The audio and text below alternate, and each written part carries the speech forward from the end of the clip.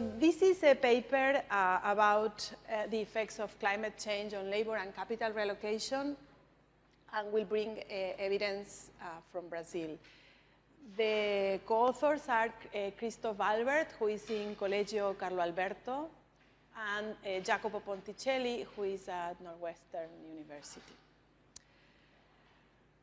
So let, let me start with the motivation. You know, there is a clear idea, especially after this summer. Uh, I think presenting this paper after this summer is very different from before the summer because I don't have to explain many things that we have experienced. Uh, but one of the uh, effects of climate change that scientists have been stressing is the increase in the frequency and intensity of extreme weather events, uh, such as uh, you know, heat waves, uh, droughts, and floods. And these events, uh, you know, developing countries have been already particularly exposed to these events. So in rich countries, maybe this is a special summer um, uh, where, you know, we have clearly experienced uh, this, uh, you know, this extreme uh, weather. But in developing countries have been already experiencing this uh, in the past. Why? Because tropical areas are more affected uh, by this uh, warming. I'll show you this in a second. Uh, this means that um, we can look at the data from these countries uh, in the recent years to start understanding what are the consequences of uh, climate change and how uh, you know, different economies can, can adapt. Another reason why developing countries are uh, particularly exposed is that they tend to have a large employment share in agriculture, which is the sector most directly affected uh, in terms of productivity by the changes in climate. And a second is that uh, if you think of any standard um, international trade or economic geography model, what would be the response to climate change? Usually, uh, there is a change in comparative advantage. If you have, for example, a drought that decreases agricultural productivity, you would expect that a, a region sh shifts comparative advantage towards uh, manufacturing or traded services. This involves a relocation of capital and labor uh, across uh, sectors. A second response that could be emphasized by a, an economic geography model is movements of population. If an area uh, faces negative you know, a, a, change in the weather that reduces uh, productivity, what you would expect is that labor flows out of that area and relocates towards other areas. Same story with investment and capital. So these are the two uh, classic responses that you would expect. Uh, developing countries are characterized by frictions in these labor and capital markets, so this relocation process might not be as easy as in rich countries. So that's another reason why we are interested in looking at the experience of these, of these countries. So what is existing evidence? Uh, there is uh, evidence on the effect of adverse uh, weather conditions on local economic activity in developing countries and on migration. Uh, our focus here is going to be the relocation of labor and capital across sectors and regions. So we will look at the uh, sectoral relocation that is predicted by classic uh, trade models focusing on comparative advantage. And the second uh, contribution is going to look at the spillover effects on destination regions. So what happens with regions that are connected to regions experiencing droughts, for example, through labor or capital markets, and then, um, yes, ¿no funciona? Ah, pues me lo pongo en el vestido igual. Sí.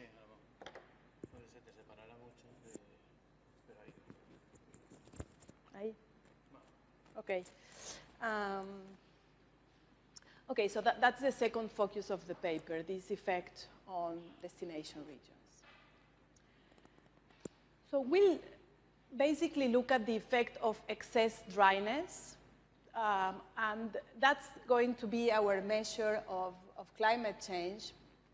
So let me stop one second here. So the idea is going to be looking at deviations of the weather in a certain area relative to the 100-year average. Okay, so these are going to be, we're going to look at deviations during a decade. So the idea is that you are experiencing a decade that is dry relative to the last century. And that's going to be our measure of climate change, how people adapt to these anomalies that are persistent uh, in time. It's not just a bad year, but it's a bad decade. So the first is the direct effect on the local economy of the affected regions. We'll call those origin, uh, you know, because we will use this framework of trade and geography to, to think about, about this. So we'll think of this origin, which are the, the regions that are affected by uh, dryness. And then the indirect effect, which is in the economy of these regions integrated, and we'll use two measures of economic integration across regions within a country.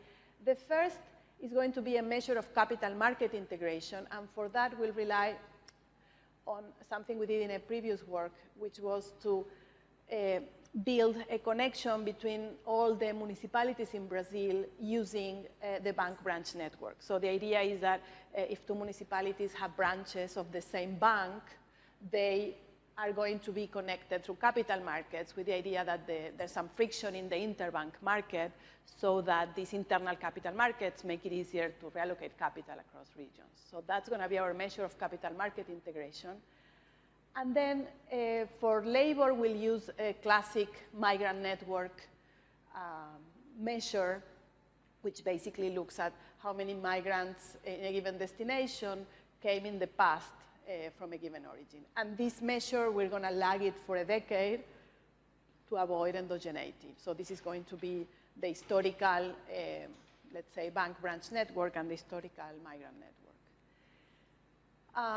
Uh, so uh, the setting is going to be Brazil in the last uh, two decades, uh, which are interesting from the climate point of view. I'll, I'll show you in a second. Um, we'll bring some new data on disaster reports on drought. So we digitized federal information at the municipality level on, on the occurrence of these natural disasters. Uh, and then, you know, to uh, ensure exogeneity because the first measure, I mean, it's good because it tells you which type of weather conditions were perceived as negative by, by local and federal authorities.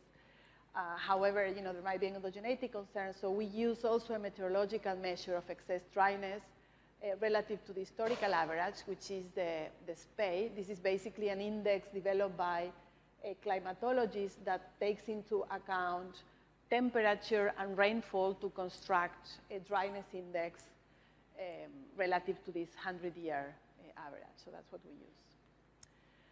And finally, we'll look at, look at um, agricultural output, uh, capital relocation. Why do we look at agricultural output? Because our setting is one where we think of a shock, the, the weather shock affecting agricultural productivity and then all the effects that that uh, builds into the system. Okay, so that's our main outcome. Um, second is capital relocation. Uh, we're going to use bank branch balance sheet data from the ESTBAN data set. And for labor relocation, we use uh, the, both the population census and the employer-employee data in RAIS.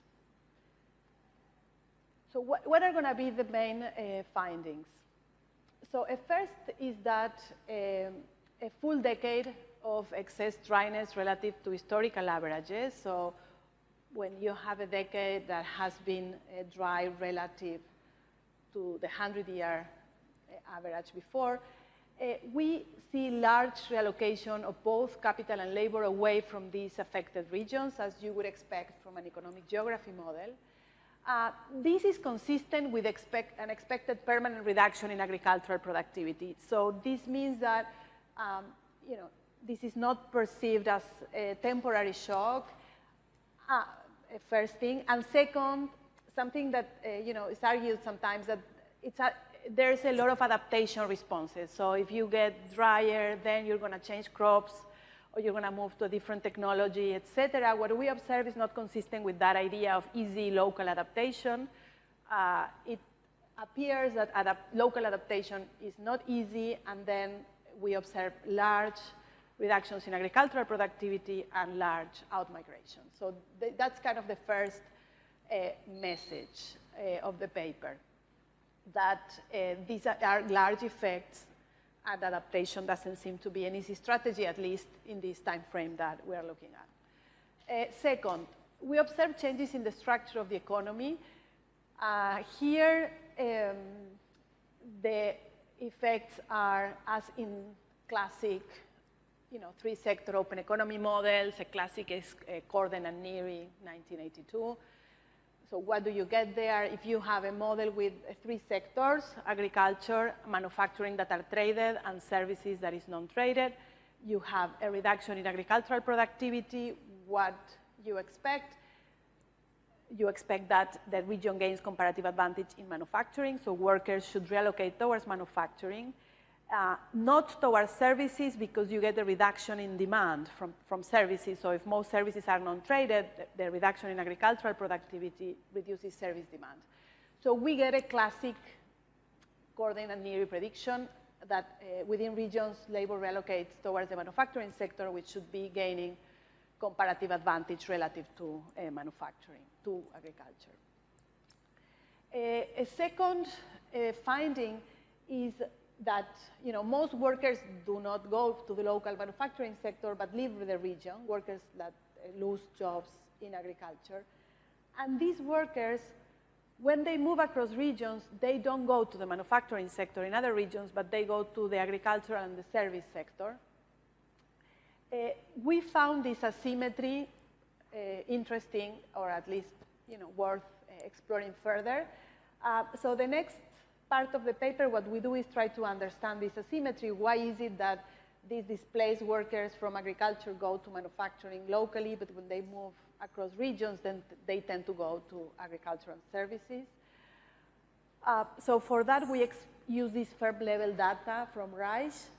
And basically, what we do here is we construct a firm level version of the migrant network instrument that allows us to shock firms with exogenous climate migrant shocks. Okay, so basically the idea is that if a firm has employed in the past somebody that, uh, you know, from a region that will be experiencing droughts in the future, right, then this firm is going to be more likely to get more migrants from that particular region. And that, uh, you know, it's uh, you know, we show some uh, exogeneity, uh, that this is a, an exogenous, you know, climate migrant shock at the firm level. Some firms are going to react to the, that shock hiring workers and some firms are not going to react because even if there is a contact, I might not, not hire. So that's uh, the setting that, that we explore. And here we have two interesting findings. One is that uh, firms in the manufacturing sector are less connected to dry regions via migrant networks. What does this mean? Uh, at the beginning, we were shocked about this finding. I, will tell you why. Because the weather shocks are as good as randomly assigned. Why? Because these weather shocks are deviations from a, the 100-year average. So all regions are equally likely to experience droughts. So we were not understanding why is the case that firms in manufacturing tend to be systematically less connected to these drying regions. Um, on further exploration, exploration, we saw that this is because manufacturing is concentrated in space. This means that it's going to be, on average, less connected to any region because of this uh, concentration. This job market for manufacturing is much more concentrated. Uh, this we, we think it's interesting because then it's going to be more general than Brazil. In, this is going to happen in any country because you know, manufacturing is always concentrated due to external economies of scale. Uh, so that, that is one friction that is going to make it hard for workers in agriculture to find jobs in manufacturing. And a second a finding is that conditional on being connected to this region, so even if they have a worker in the past that you know, came from this region, so it could have, you know, this referral network. This could, they are less likely to respond by hiring these workers. Uh, and here, you know, the, the, the explanation uh, that, you know, we're exploring further, but uh, this is what we, we are seeing in the data is that um, there are differences in skills, um, you know, between manufacturing and agriculture. So even if they have connections, it's harder for these workers to, to get jobs in, in manufacturing. Okay, so that is, um, that is sort of the summary of the paper, and now I have only 10 minutes, so let me just show you uh, sort of the main, uh, the main findings in the data. So the first thing that uh, we, we think is interesting Uh, and we found also surprising when we saw it is the evolution of the temperature in Brazil. So this is the temperature since 1920 uh, to 2020, so the last century. And as you see, since 1980, so, so this is up, you know, we know there's an upward trend, but since 1980, this has taken a, a, a uh, uh, speed. And if you look at the, at the axis, the increase in temperature in the last 40 years is, uh, you know, somewhat larger than one degree. Okay, so this uh, type of graphs, you wouldn't get it in Europe, right? In Europe, it's much flatter.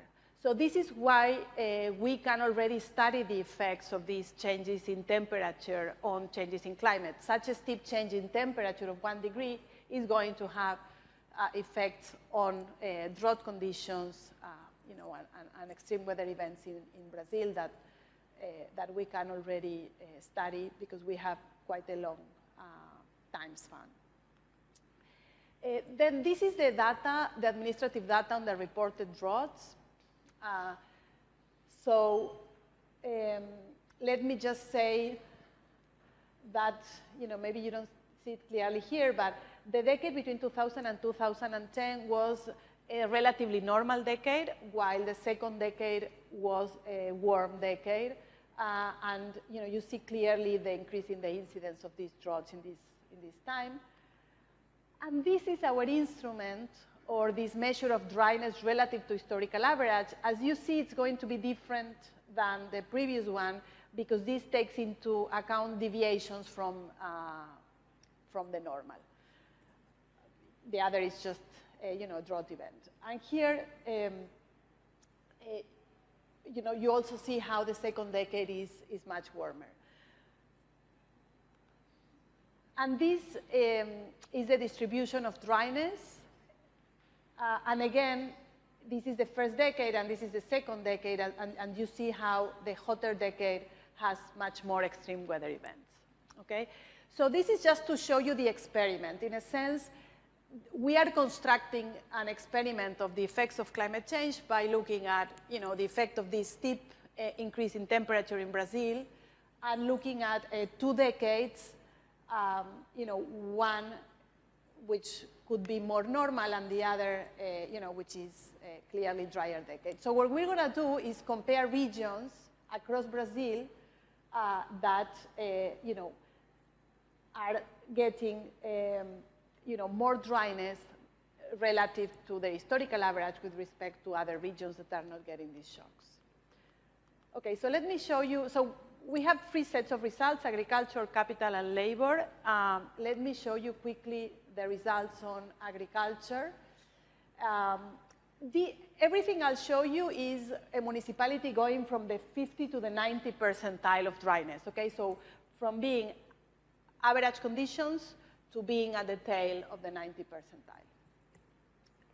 Uh, so here what we get is a reduction of the value of production of around 8% in agriculture. This is overall, so this takes into account adjustment across crops, etc.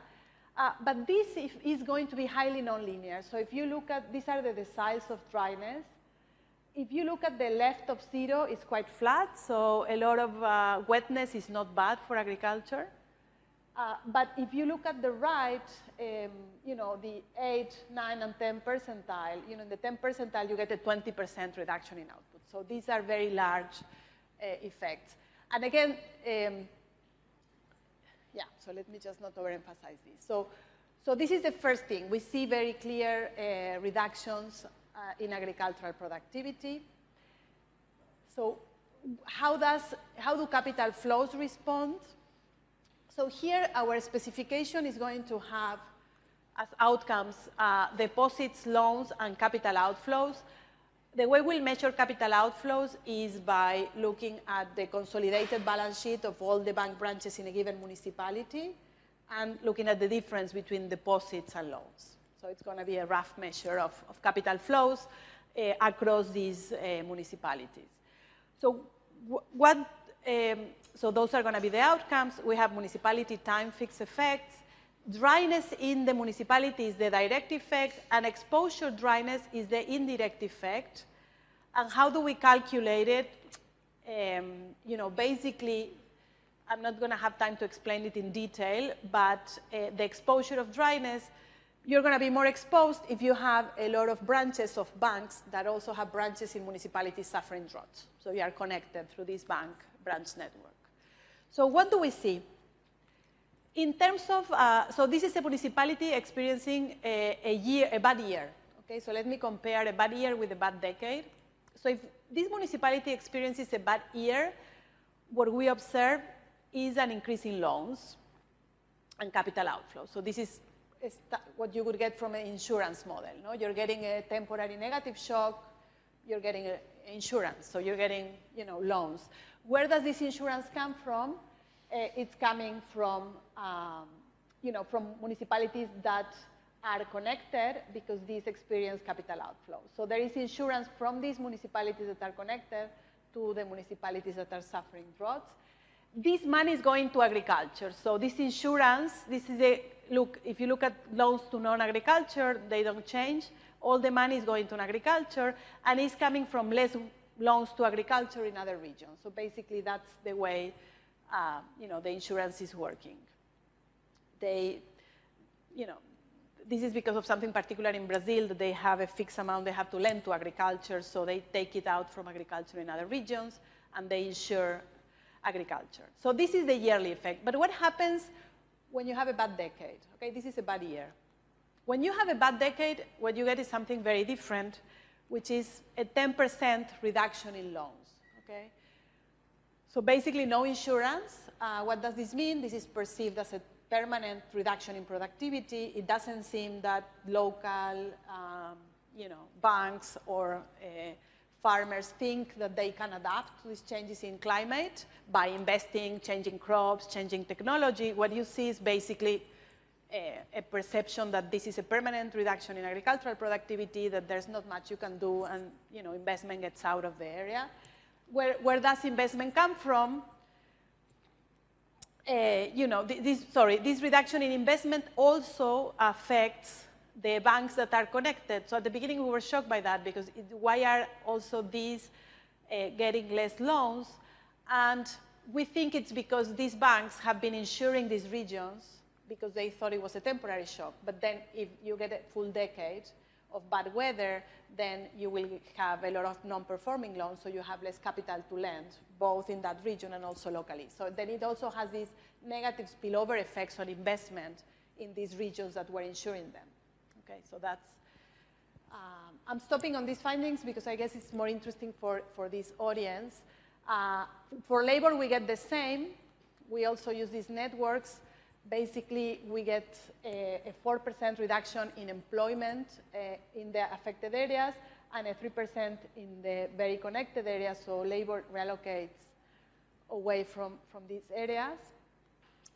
And when you look at the sectoral composition, in the areas directly affected by the shock, you get a 10% reduction in agricultural employment, an 8% increase in manufacturing, a reduction in services. This is the negative demand effect from the you know, Corden and Neary model.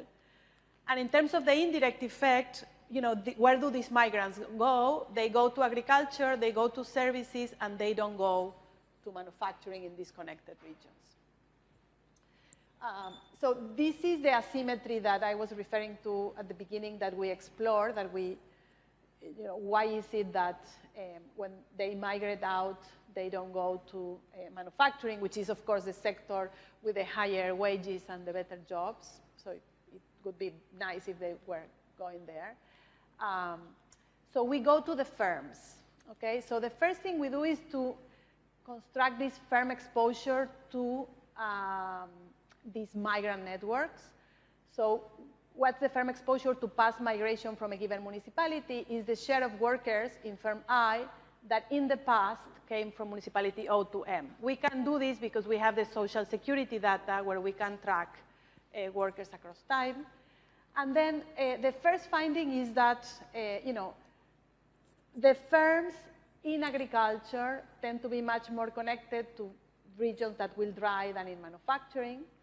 Uh, again, the explanation for this, given that the weather shocks are randomly assigned, the explanation for this is that manufacturing is concentrated, so it's going to be less connected uh, to regions, um, to any region.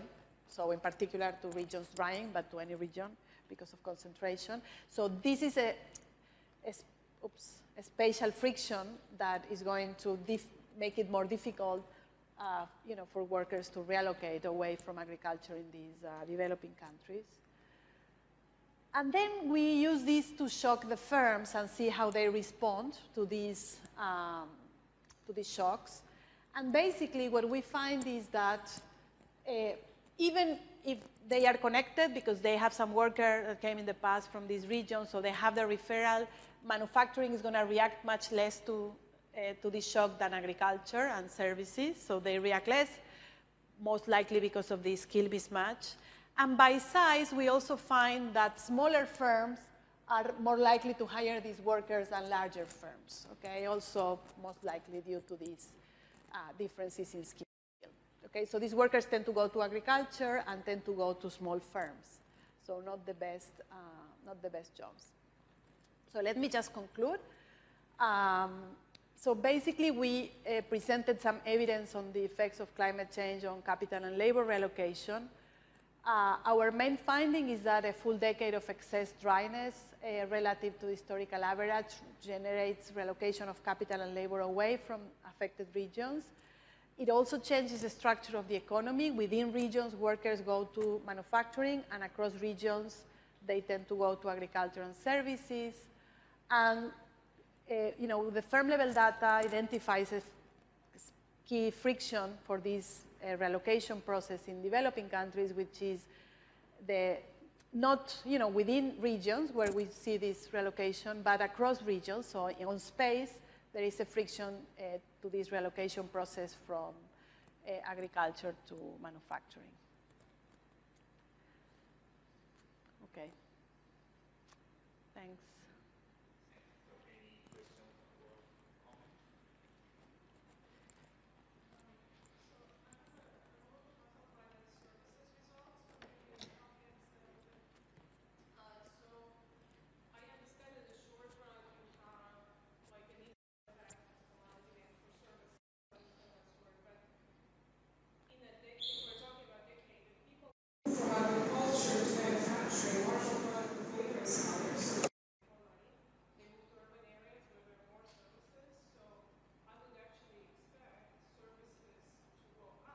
Mm-hmm. Yeah, that's an interesting point. I think um, the, the, I think the point is about uh, relative versus absolute comparative advantage, right? So think that manufacturing and agricultural productivity are fixed, and then you get a negative shock to agricultural productivity, right? Uh, that's going to mean that relative comparative advantage is better in manufacturing, so people reallocate, but you would still get lower income in this region because productivity is lower. So that's.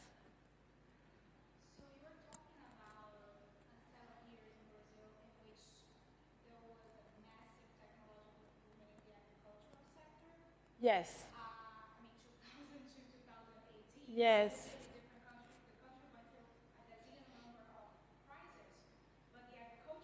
years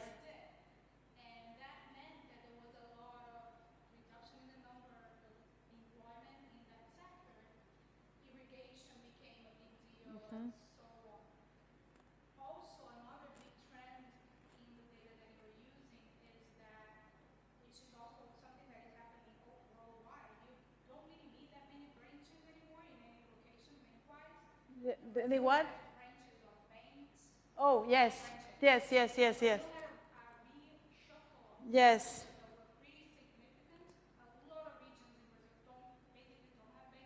Yes. Yes. Yeah. Okay, so let me show you, because we have a balance table that I skipped. So let me show you that.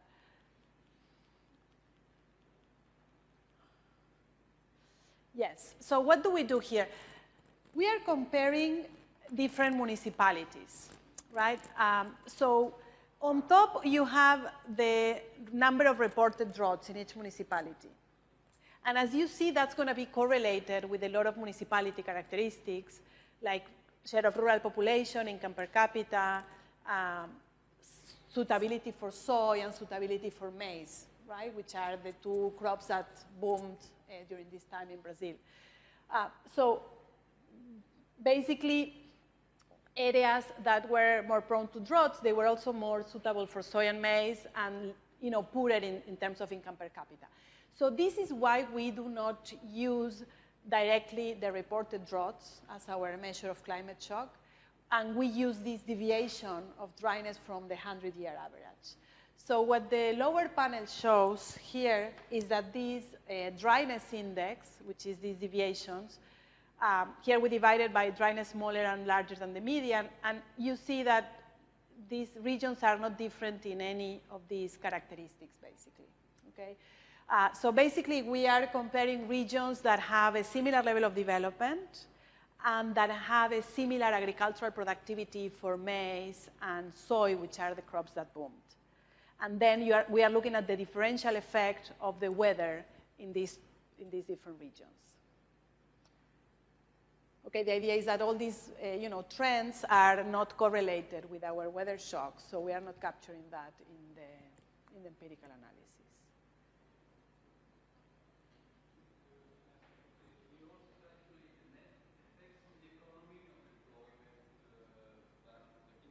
The aggregate effect. We can do that. Um,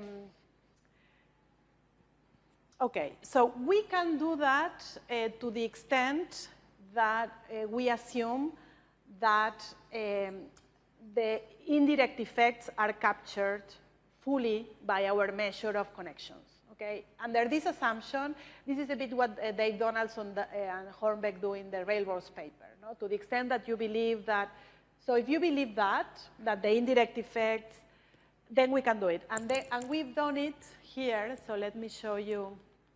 This is what we've done in this. Um, we haven't added it, though, but we, we did it at least. This would be the, no, the distribution here.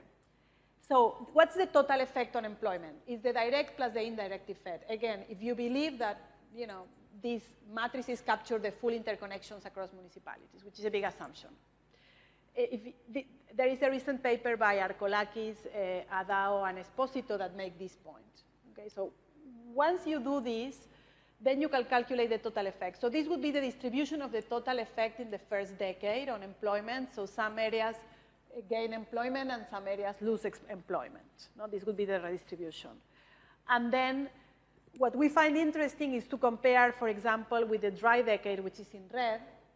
If you look at the estimates, but plug in the weather shocks of the dry decade that are more uh, dispersed, then you get much, uh, you know, much larger labor relocation across space.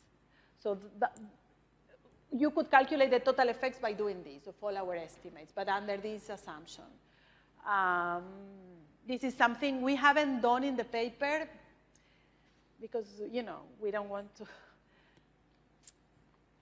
fully believe in this assumption, but maybe we'll just do it and make it clear that under this strong assumption, you can calculate the total effects. Yes. Let's see what number we get. We haven't done it. But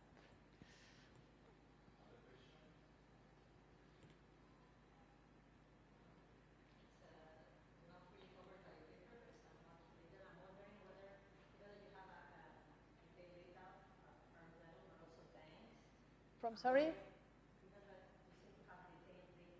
Yes.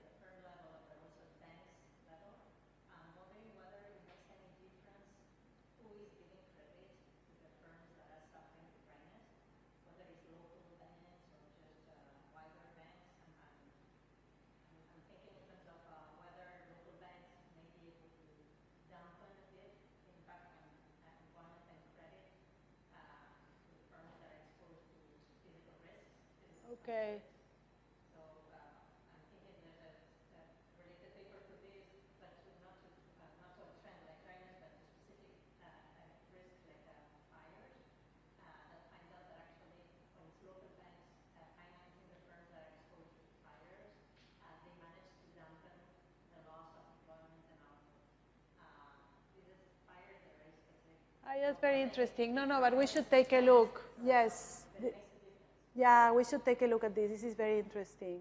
Um, yes, yeah, that's a, that's something we haven't done, and that that would be very interesting. To so I'll try to find the, the paper.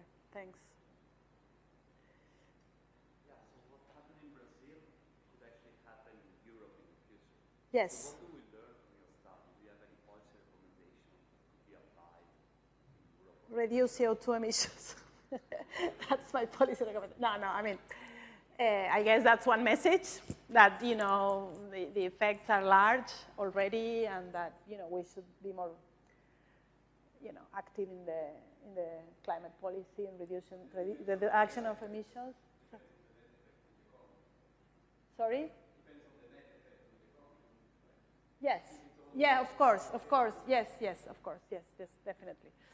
Uh, definitely. But for me, this is kind of a sign of, of suffering in, you know, in these affected regions, right? And, and difficulties of these migrants to find good jobs at destination. Um, so th- that's one of the messages. Another message is that uh, this reallocation process in developing countries is subject to these frictions. And then that is one area where policy should focus, right? So if you're having, you know, drought in certain regions, then make sure that, you know, in the big cities close by where uh, migrants uh, are, are going, the government can put employment offices and try to match them better with manufacturing, for example. That would be one clear implication of, of the finding of this friction, I would say. Yes. So I think one accurate statistic that in prediction is that would be very policy relevant is what happens to total agricultural production in a country. Total. Yeah. Because if, yeah, okay, the economy can benefit or lose from reallocation. Yes, that's true. That's very, yeah. Yeah, that's very true. That's very true, actually. Yeah, and the nice thing is that the extreme, the, the, a lot of the, the places that get wetter, they are flat, and then you get the big losses. So I think that would be a nice number. That's a very good idea, actually. Yeah, that's a good. Thank you. Thanks.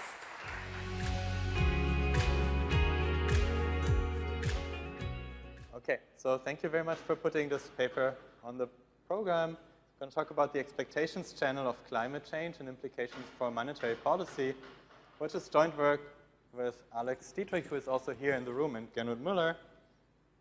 And I believe the data was collected while I was at the Fed, so the usual disclaimer applies.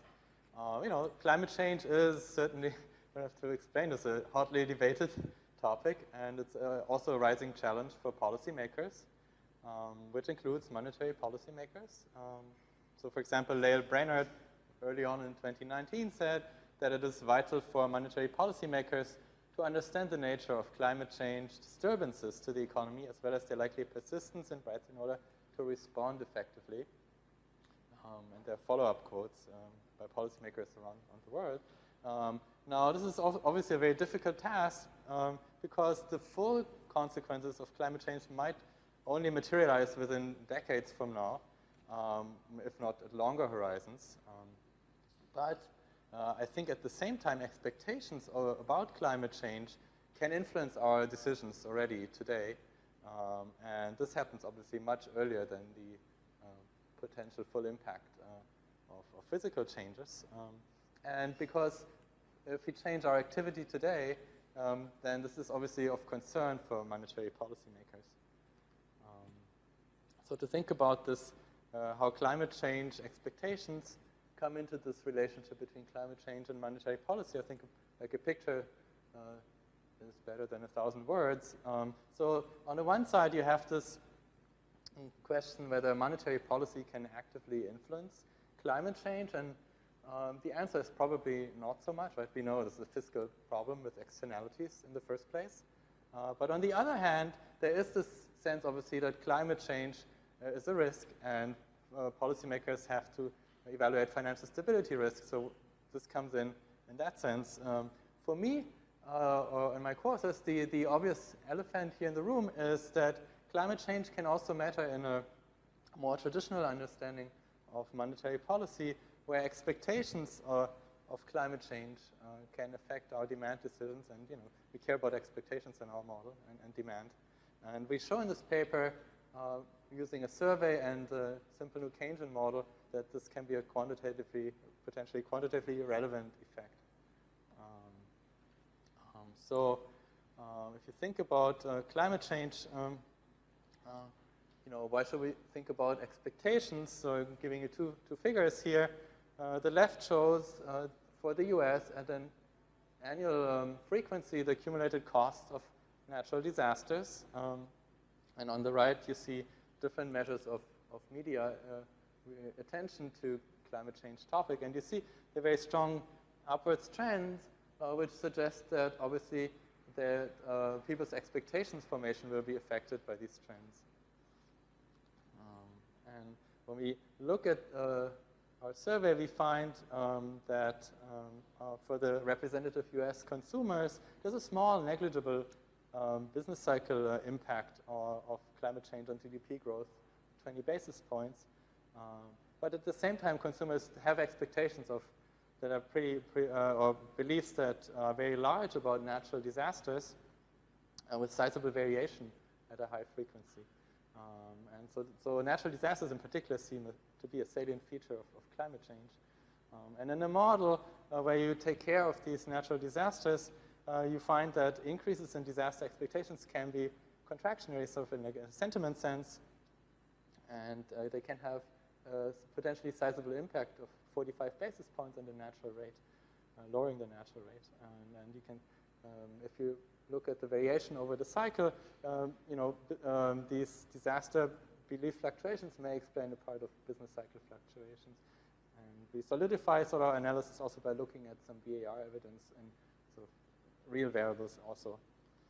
So let me go straight to the survey. Um, so this is part was is um, was part of the Federal Reserve Bank of Cleveland's uh, daily consumer survey, which I started. We have about 28,000 data points here uh, with consumers that are representative according to age, region, gender, race, income, education, and we uh, address any inaccuracy using survey weights, and this was run between 2020 and 2021 at a daily frequency, where in addition to the usual questions, we added a block on climate change, uh, where we asked about um, uh, expectations uh, about the, on, on the, distribution of GDP growth, uh, economic damages, both explicitly conditioned on natural disasters, um, as well as the, the probability of a large natural disaster.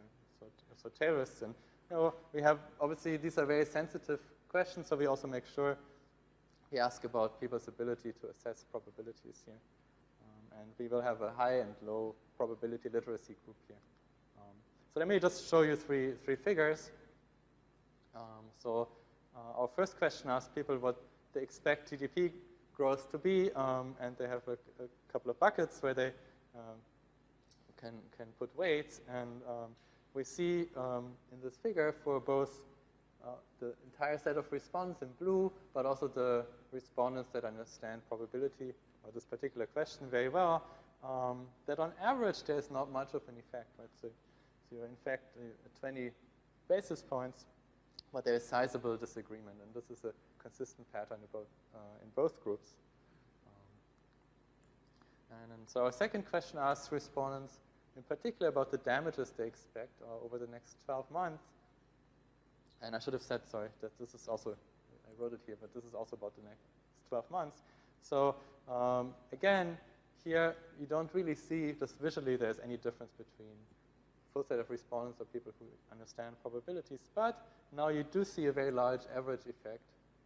Uh, people expect damages of about 1.5% of GDP uh, as, as damages over the next 12 months, uh, with a quite heavy tail here as well.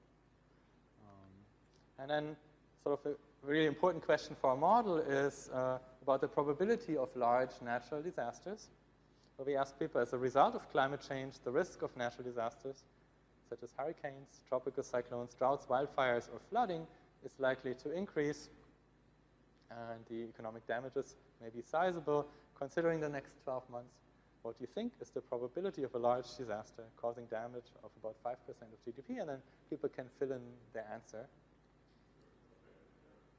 Yes? How, so, sorry. Yeah, so it's a very good question.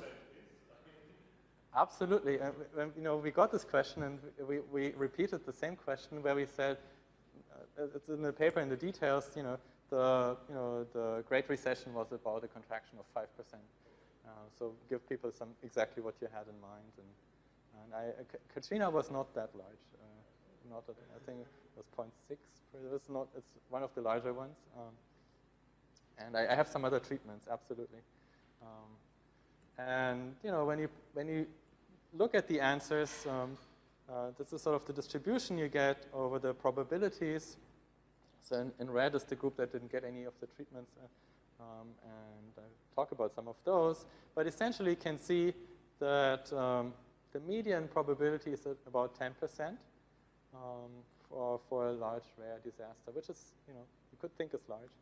Um, and you know, just to show you also again here the differentiation between people who understand probabilities and who do not, um, which is the, the top versus the bottom panel, or it's the, the other way around.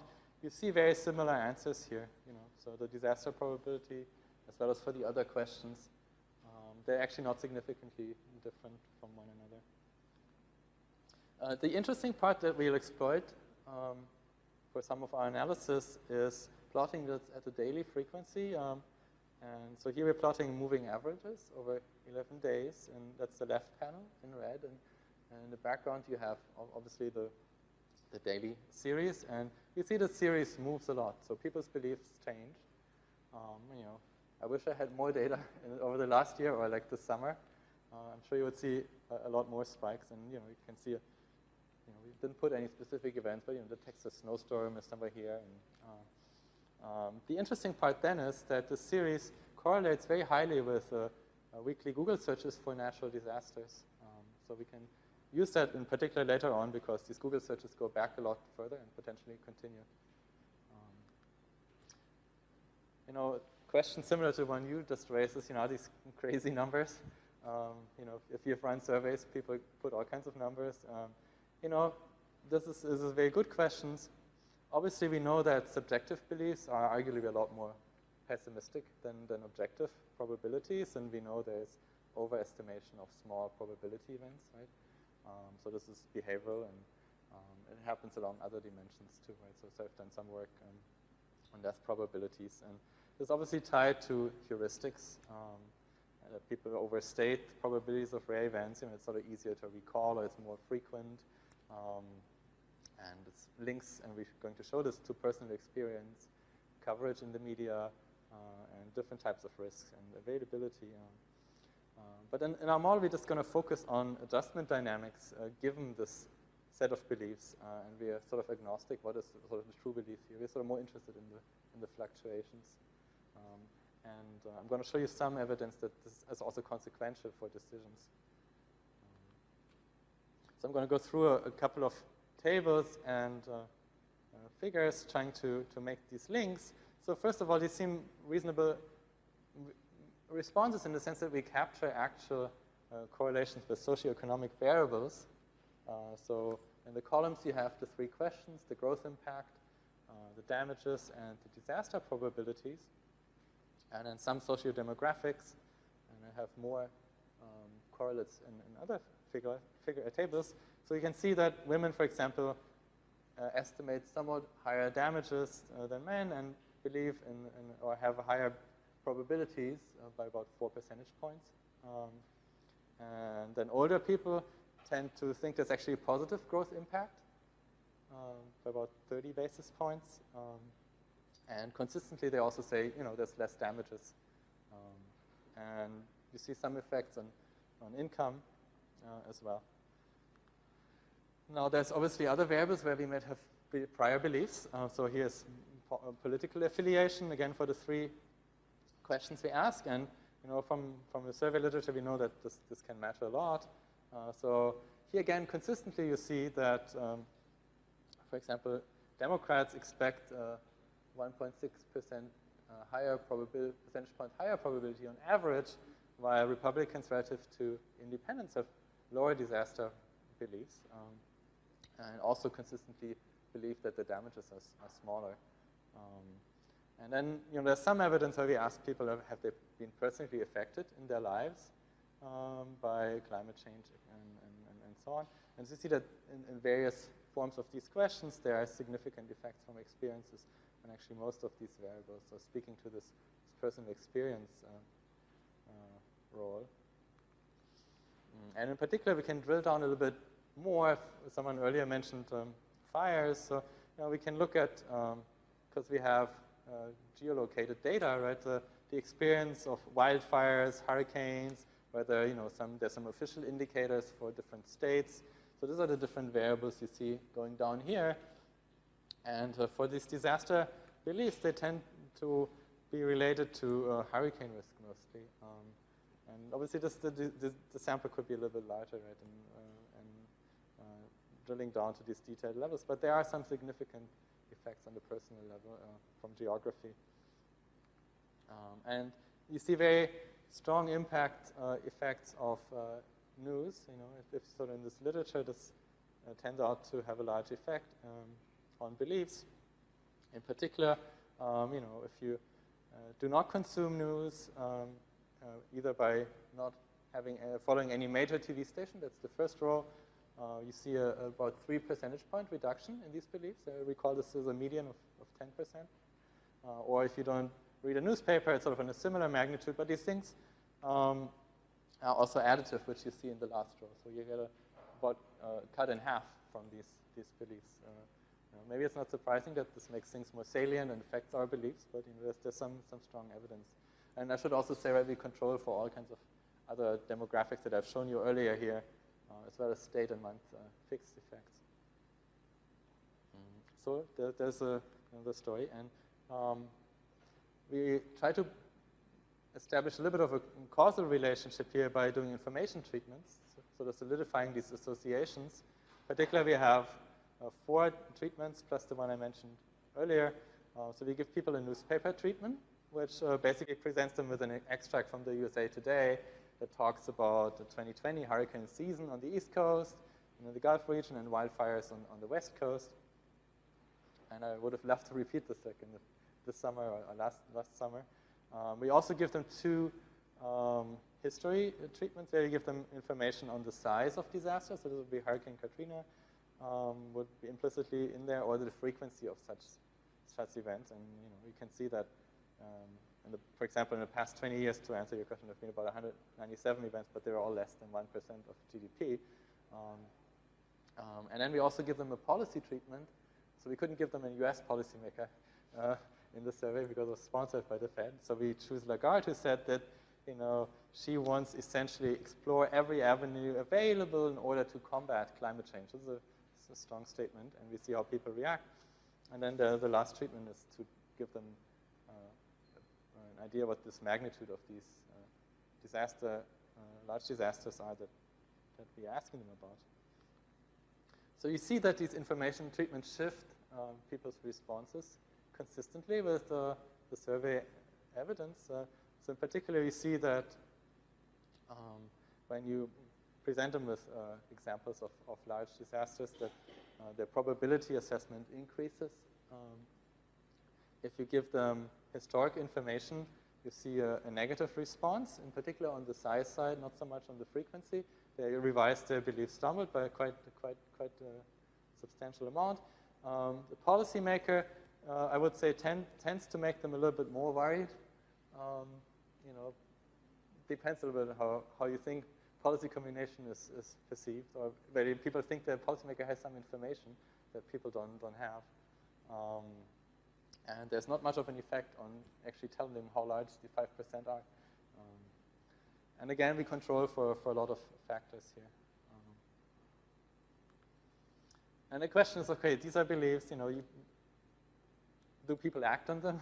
like we ultimately do not observe, I want to be very clear, their, their exact uh, consumption decisions, but we can ask them about their behavior, and I'm going to give you an additional piece of evidence that speaks uh, also to some real variables. So I'm just going to show you one slide here with uh, three panels, um, where we ask people about their uh, choices to eat no or less meat due to climate change, to refrain from flight travel due to climate change, or to avoid plastic products due to climate change. Um, and then what you see on the y-axis is the probability um, of a large natural disaster that they, uh, that they, they hold. And then you can see a very clear pattern uh, that are people who report behavior that uh, you know, we think is in relation uh, to climate change, to, for example, to refrain from flight travel, uh, that they hold a higher belief that there will be large natural disasters. And it's consistent across all of these questions. And there are three more that relate uh, to financial variables, you know, to divestment and, and, and, variables like that. Um, so this is, this is consistent with people adjusting their behavior. Um, now you never know what people actually do.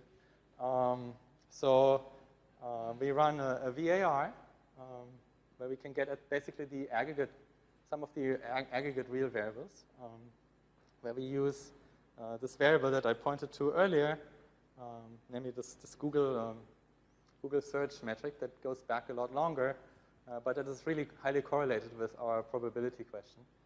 Um, and we use monthly data from 2004 to 2020. Um, you know, there, there's obviously in this VAR six time series, the, the natural disasters, the interest rate, uh, personal consumption expenditures, um, and unemployment as well as uh, actual costs. And, you know, it's the standard identification. Uh, we allow for an immediate response of indicators to expectations, and we consider a shock to the uh, natural disaster search. So that's the set of impulse responses uh, I will show you next. And uh, you see that, you know, following this belief shock, um, uh, that unemployment increases, uh, the interest rate uh, goes down, consumption falls. Um, so these are very, very significant responses. CPI falls, and you know, GDP obviously is an index that falls. So this suggests that this, at least this uh, proxy variable for, for these probability uh, assessments is, has some, uh, some association with, uh, uh, with real choices as well. Um, I, again, ideally we'd like to look at, at, micro data, but you know, we don't, don't observe this. So what, what do we do with this? Uh, what, what does this imply for monetary policy? Um, so we're going to look uh, at this through the lens of a Keynesian model with rare disasters, uh, following essentially the setup of Fernandez Villaverde and, and Levintal. And I try to keep this uh, short. Um, we have a simplified version to get some intuition, um, but we also calibrate a, um, a more a full model uh, to get a little bit more of a quantitative assessment. And how this works is literally in your uh, sort of Galí-style world, uh, but there is a natural disaster in this model um, where the probability of climate change is related to the uh, probability of a disaster, so the probability of dt being 1, and this is the omega. So, uh, and what happens is so essentially this, right? You lose some of your capital stock and your productivity drops. Um, are there other ways to think about this? Um, we're just focusing on this particular transmission channel. Um, you know, this, uh, I'm just going to point out, where, for the sake of time, also the where this enters the, uh, the, the, usual uh, equation. So uh, you consumers maximize utility subject to budget constraint, capital accumulation subject to adjustment costs. But if this disaster strikes, you lose this fraction mu t of your capital. And mu t can evolve according to some process. We have an AR1 and uh, like I just said, you, the productivity drops also if this disaster strikes. So just the, the growth rate of, of productivity. Um, um, so let me just go to some closed form results and then the, the, some impulse responses. Uh, the simplifying assumptions we make to get closed form results, uh, you know, we really simplify this, this problem, also maximize expected utility, there's basically um, prohibitive investment costs, uh, no depreciation, so there are no dynamics of capital. There's no trend in gross productivity, and uh, the disaster is no time varying. and then we back sort of in the Galim model with a Phillips curve and IS equation, and then you can show some, some results. Uh, so I have three slides. So the first one is that the natural rate of interest drops in response to bad news. Um, and this is tied both to the uh, magnitude of the disaster as well as to the, the likelihood of, of the disaster. Um, so the solution you get is that the natural rate uh, depends not only on the preference parameter, and then again, uh, there's no, no trend growth here, but you get a negative relation um, with the probability and the size of the natural disaster, and then there's some proportionality parameters here. Um, so what's the intuition? Uh, well, you know, something uh, bad is, if you think something bad is going to happen in the future, this is going to affect uh, your decisions, right? You particularly want to smooth out your consumption, so you have to save today, and it's going to depress the natural rate um, of, of, of, interest. Um, at the same time, if the disaster hasn't happened, there's no effect to the natural level of output. Uh, but if, if there is such, an, uh, such a disaster, obviously the natural output uh, contracts.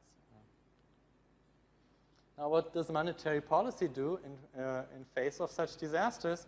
Uh, the answer is it depends. Um, very generally, we assume that monetary policy follows an interest rate rule where you can react, implement or respond systematically to the natural rate of interest uh, as well as inflation.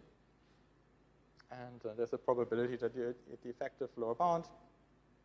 And then there's sort of three cases, and we sort of all know this, but this is this is very, I think, uh, illuminating for what, what the effect should be. So, you know, if you perfectly implement a natural rate, then you can, uh, you know, stabilize uh, the economy.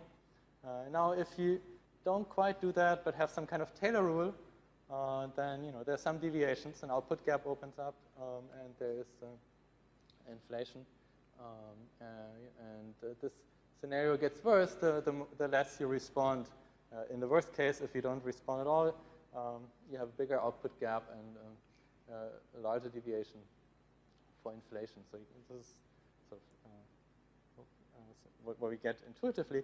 And then notice that these, um, sorry, I should have said this, that deviations depend obviously on, the, on these probabilities, omega t, um, and that tells you also that the volatility, so the, um, the fluctuations over the cycle depend on the on the magnitude of these, these probability beliefs.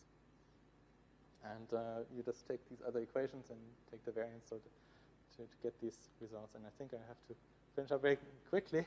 Um, so if we calibrate this to our model, so take a disaster size of mu is 0.05 and then beliefs at a quarterly frequency of, of 2.5% probability of such a disaster hitting um, and uh, take also the distribution, the, the higher moments from the data. Um, then we match sort of business cycle uh, moments.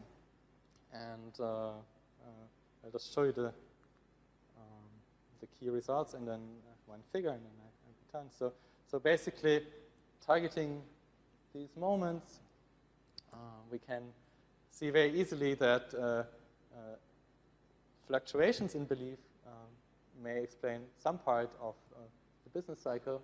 So how do you see this?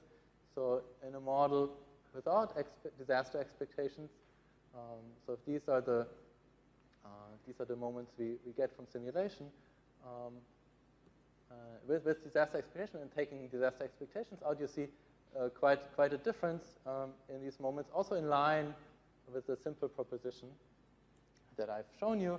Um, so you see a particular large drop in the natural rate um, and a little bit of an output gap. And uh, you see that you know, overall we explain some share of fluctuations. If it's too large, I would say this is crazy, but just, you know, is, I think this is, a, is a, an example of these new sentiments that we can actually measure. Um, so I, I, think that that's, that's interesting. Um, and then you can obviously look at the impulse responses where you very clearly see that uh, the choice of monetary policy how monetary policy responds in this full model also has uh, predictions in line with this simple intuition. So I'm showing you here uh, one standard deviation shock uh, as we measure it to these disaster beliefs. And uh, three cases, one where you have uh, our baseline policy, then implementing the natural rate, as well basically as not responding as a policymaker.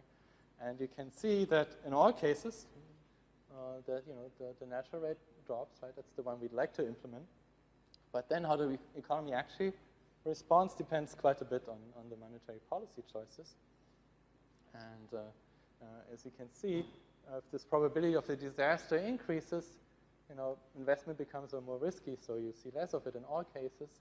Uh, and if you are uh, implementing natural rate, you're sort of doing a good job at stabilizing the economy. Um, and once you deviate this from this, this optimal policy, uh, you see uh, obviously that uh, uh, inflation is, is not perfectly stabilized anymore. And, uh, quite in, in line with the predictions of the simple model, this, this gets worse the less you react. Um, so to, to sum up, um, if you measure these, these beliefs about climate change, um, sort of find very small but slightly positive growth effects, um, but also very large um, um, disaster beliefs and also in terms of magnitudes. And they tend to be very salient. And uh, it means for policy that, you know, shifts in these beliefs can contribute potentially to, to business cycle fluctuations. Um, you know, have to see, you know, how, how these beliefs evolve. But I think this is it's really neatly links to this idea of, of, of sentiment shocks that we can, can measure. Um, thank you.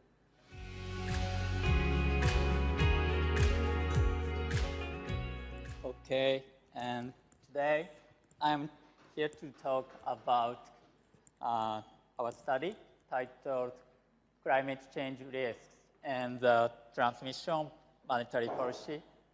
And I'm Takeshi Shinohara from Bank of Japan.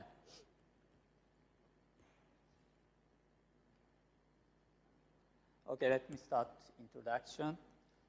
So, as you already know, the uh, risks of climate change have been strongly raised and becomes uh, one of the greatest challenges recently. And central banks are more considering the climate change, such as Green QE, for example, monetary policy framework that, uh, that has been proposed for mitigating climate change. Now, following this uh, trend, uh, another issue uh, has emerged regarding uh, monetary policy and climate change risks.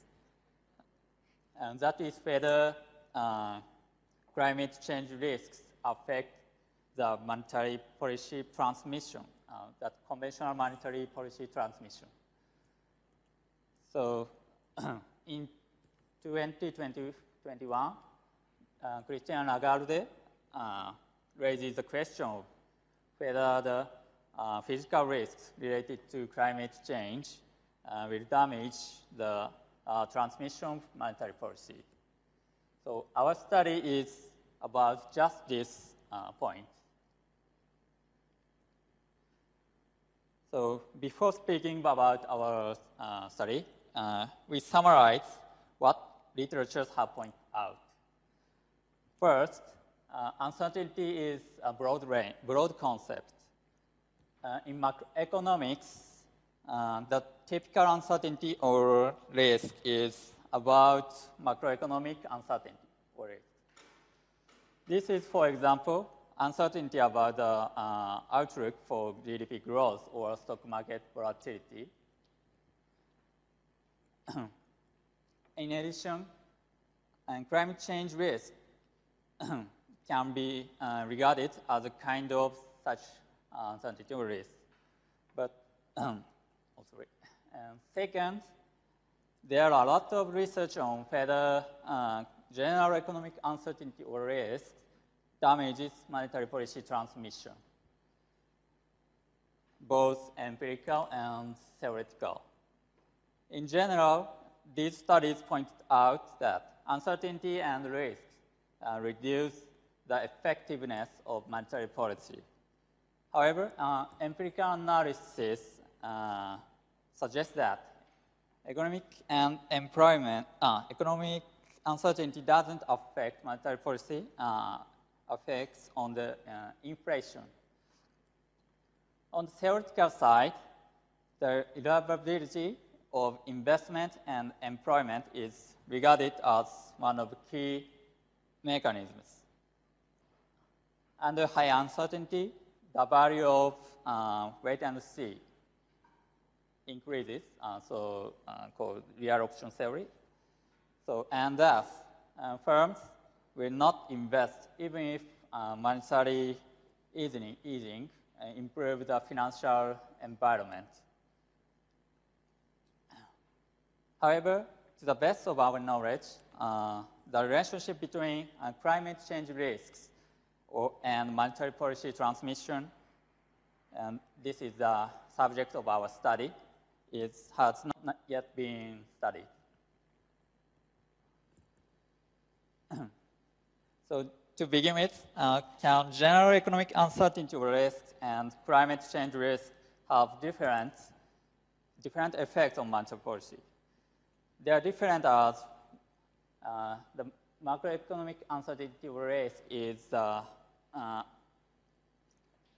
unpredictable future conditions, and climate change risk is the physical risks or uh, physical risk or uh, transition risk. So the rat is characterized by the risks that occur slowly over a long period and that leads to irreversible uh, changes. This is a future uh, not present in the general economic uncertainty. Therefore, this study is positioned to fill this gap. Related studies, uh, although few in number, have also emerged recently. So one such study is that of Dietrich et al. Um, presented earlier. So their study is very informative. Uh, it focuses on whether climate change risk impede macroeconomic activities and to what extent monetary policy can eliminate their adverse effects. But uh, not study on uh, how much monetary policy is affected by climate change risks. So what we do, uh, this slide shows what we have done in this study. First, we conduct, conduct two empirical analyses.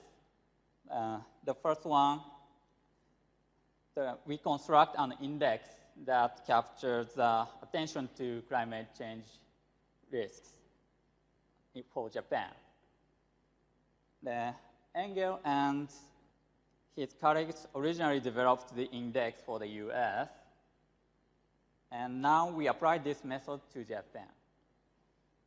In the second part of the empirical analysis, we estimate the smooth transition local projection model between uh, high and low climate change risk regime. We use the data from the US and Japan as a robustness check. With this analysis, we investigate whether climate change risk has a negative impact on monetary policy spillovers. And finally, uh, we built a theoretical model to interpret the uh, empirical findings. Crime, uh, that is, climate change risk could affect uh, monetary policy through various channels. And here we uh, construct a simple new Keynesian model uh, through, uh, with an expectation of disasters. So uh, this is our findings. Uh, so the findings of this study is that monetary policy spillovers uh, reduced as climate change risks is higher. Specifically, we find that the response of price to multiple shocks uh, in addition to economic activities such as production and capital investment or uh, the GDP is weakened. This result differs so from those using macroeconomic uncertainty or risks, which have been primary, primarily studied in the past. And results are robust in the US and Japan. We interpret that a key mechanism is the wait and see effect. Okay, so let's start the empirical analysis part. The first part of the empirical analysis is the construction of an index that captures the attention to climate change for Japan. Okay, we first uh, explained uh, about climate change risk attention index called CRA index. this index was originally proposed by Engle et al. for the US uh, based on uh, textual uh, analysis on newspaper articles. The index is constructed by calculating uh, correlation between newspaper and climate change vocabulary. And we can interpret it that it represents a fraction of news about climate change risks. Our first contribution is that we construct uh, the CRA index for Japan. Okay, and data, and we applied Engle's method to major Japanese newspaper articles for the first time. So data source is uh, one of Japan's major newspapers called Mainichi Shimbun, with all articles from 1991 to 2021. Okay, so here the, we first the, uh, show the climate change risk index for the U.S. Uh, created by Engle et al. The blue thin line is the monthly original series, and the black line is the six month moving averages. And looking at this, uh, three points can be noted. The first one is we can see that the index fluctuates and rising and falling uh, repeatedly. It indicates that uh, the perception of climate change risks may increase and decrease. Next, the index has risen immediately during international events related to, climate change, such as uh, Copenhagen Accord in January 21, 2010. So, and third national climate assessment in 2014. And lastly, it is on rising trend in the US after 2000 years. Next, this is the same index for Japan. The index shows that it, uh, it rises sharply during events such as adaptation to Kyoto Protocol uh, in December 1997 and the Copenhagen Accord in January 2010. So this is common in Japan and the United States. Also, uh, looking at the recent periods, the index has been declining since the beginning of 2020 due to the COVID-19. But it has been rising sharply since uh, next year to 2021 reflecting the recent increase in the uh, attention to climate change risk.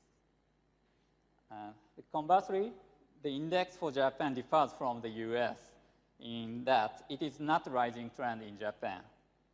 It can be uh, interpreted that the uh, development of attention to climate change risks may differ from each country. So we then uh, studied the relationship between climate change risk and monetary policy transmission. In the smooth transition local projection model, using the CRA index, this is, a, this is our main findings. Okay, first, we describe the specification of the analysis. In this study, uh, we estimate the smooth transition local projection.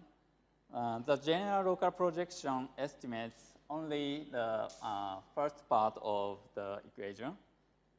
Uh, oh. of this, the, only this point. And the, the response of each variable, variable to a particular shock with uh, the beta red, red beta. The smooth transition local projection assumes here that the response to the shocks varies depending on the state and estimate the response in, response in each state. The responses are the, this beta H and beta L in this equation. The regimes are calculated from the climate risk index that I showed in the previous uh, slides. Uh, we employ the logistic function as in this equation, and the climate risk index is transformed to regimes for high and low climate change risks. And theta is the uh, parameter that determines how strongly the regimes switch. Theta is calibrated to 5 uh, following previous studies as a baseline. And the, the estimation period is 1997 to 2019. And the log length is determined by uh, AIC. Okay, next, we explain the data uh, used in the estimation. The economic variables are the IIP, PC deflator, and the indices of capital invest, investment and consumption. And oh, in addition to corporate bond spread. And all is seasonal adjusted and logarithmic level. And we use monetary policy shocks estimated in previous studies for Japan and the US, respectively. Both shocks are extracted from uh, financial market movements around the monetary policy meetings, such as an FOMC. And finally, the regime variable is uh, the share rate index, as mentioned earlier. Okay, so this slide shows the uh, possibility of regime of high climate change risk calculated mechanically. The upper row is the uh, United States, and the lower is uh, Japan. In the United States, in the upper panel, it, uh, until the mid, uh, mid 2000s, the US was in a regime of low uh, climate change risks. And after it, uh, had, it has been usually in a regime of high climate change risk after uh, 2010 or so. On the other hand, looking at Japan on the lower panel, in the late 1990s, Japan is a regime of high climate change risks. And on the contrary, in the 2000s, it is a regime of low climate change risk. After that, high climate change risk regime continues with uh, minor uh, fluctuations. So the regimes of high and low climate change risk may be uh, different in uh, uh, countries. So here we show the response of each variables to monetary policy shock in the US. The first, uh, the upper panel shows the results to linear local projection model without uh, considering regime switches. The upper panel shows the responses of output, prices, and investment or consumption to the uh, contractionary monetary policy shocks, respectively. The shaded area means 90% confidence band, and each variable declining significantly in response to a positive monetary policy shock, consistent with uh, general economic theory. Next, in the lower panel, we show the smooth transition local projection estimates estimation. The blue dotted line here shows the response in the regime of lower attention, lower attention to climate change risk. Each variable decreases in response to a positive monetary policy shock, similar to response in the linear uh, model in the upper panel. Uh, in other words, the effects of monetary policy are well propagated in regimes with low attention to climate change risks. On the other hand, how about the response in regimes with high uh, climate change risks? So this is indicated by this red line. It shows that in the regime of high attention climate change risk, the, uh, the response to monetary policy shocks is small and not significant. This result is the same with all variables, including prices, investment, and consumption. This contrasts with the regime of high climate change risks, and which is uh, blue dotted line. Moreover, uh, the responses in the two regimes are different enough to be uh, significantly uh, different. Um, this is, uh, and this result is robust to changing uh, theta, the parameter of smoothness of regime switches, and the lag order of the expressionary uh, variables. Okay. We employ the same estimates for Japan. First, in the upper panel, we show the response to a monetary policy shock in a linear model where each variable is significantly reduced, consistently with theory and the result in the US. In the bottom panel, we show the response of the local projection and regimes is uh, low attention climate change risk. The blue, as in the linear model, all variables are reduced by a positive monetary policy shock. Okay, next, the response in the regime with high climate change risk, shown by the red line in the bottom panel. It's not significantly responsible to monetary shock.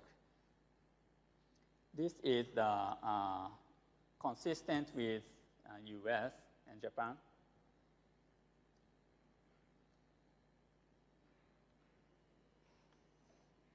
Okay, so finally, a simple, uh, there are um, variety of um, possible, possible channels to behind these empirical findings. This, is, this table is uh, from the 2021 reports by the ECB. This is argued that this argued that climate change risk can affect monetary policy transmission through uh, various channels.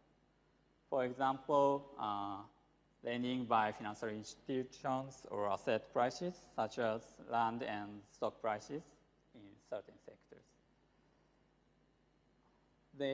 Uh, we focused on the expectation channel. The expectation channel means that climate change risk should, could reduce the uh, predictability to future demand and supply and damage the monetary policy effectiveness. All of these channels can be in, included in the framework, the empirical analysis, and that our study.